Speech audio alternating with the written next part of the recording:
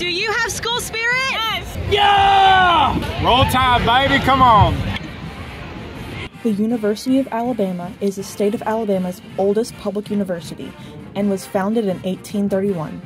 Since its founding, the university has been known for its beautiful campus. Its most iconic landmark is the bell tower, Denny Chimes. It was dedicated in 1929 and named after a previous president of the university. Our campus is home to nearly 40,000 students, with one of them being Allison John.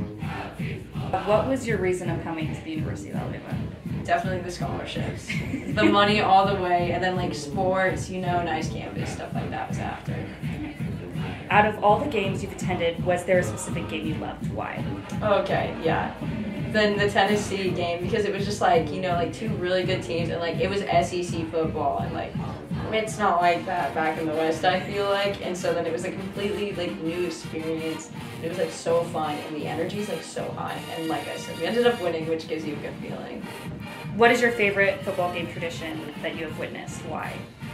Um, uh, probably singing "Sweet Home Alabama." I think it's just so adorable because it's like that song before I came here like didn't really mean anything, but I feel like now like it's like gonna be like a part of like me and like I'll always remember like these kind of moments when I like move on with life.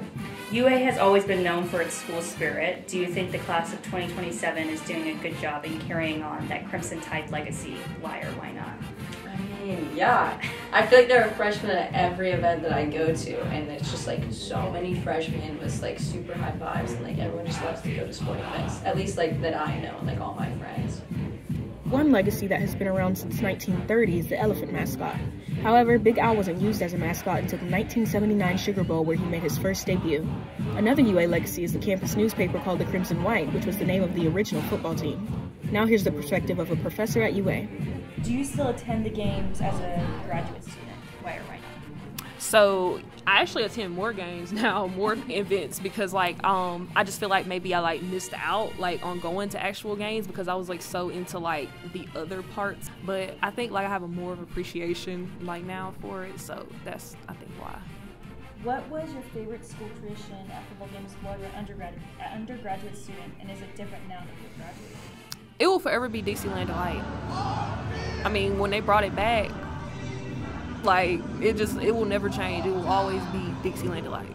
Do you still feel as if you have the same amount of school spirit now as you did as an undergrad, and what is different and what is the same? Just knowing that like my time here is winding down, I'm appreciating it more, um, and it is kind of exciting the way that football is going and the way that the team is going. Even though it stresses me out, it is like it, it is exciting. It does bring that element back that I think only the University of Alabama like football has. Football has been here for over a century and has grown in popularity ever since. UA is part of the SEC, a very competitive conference, which brings people from all over the US to attend the games. UA football is very important to our history and our future, and we encourage future students to carry on our traditions.